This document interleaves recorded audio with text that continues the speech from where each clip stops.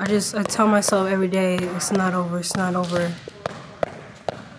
You're just a little youngin and you just still need to keep going, keep going.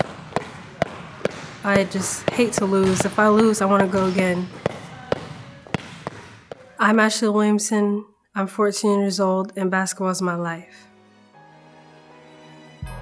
I just have the love for the sport and really I've just gotten connected to it. It's like I just can't get away from it.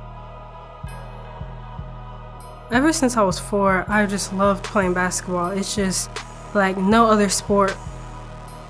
I played YMCA ball like when I was really little, like every game, every Saturday. After that, I'd be like, Dad, let's go to the gym again. Like I had a basketball in my hand every day. I would dribble the ball to school and I would just love to have that ball in my hand. It was like my best friend.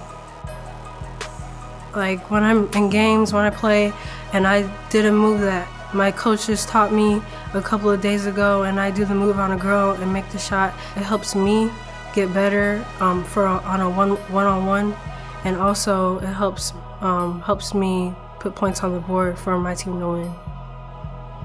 Like girls that are younger than me, they say that they look up to me because I'm such a good basketball player, and that means a lot. So I could have that relationship with them and teach them and get to be their friends and also get to be their mentor all at the same time.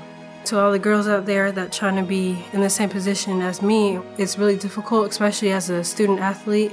But if you put your mind to it, your dreams will come true. I'm hoping to um, play D1 college basketball. That's like my main goal.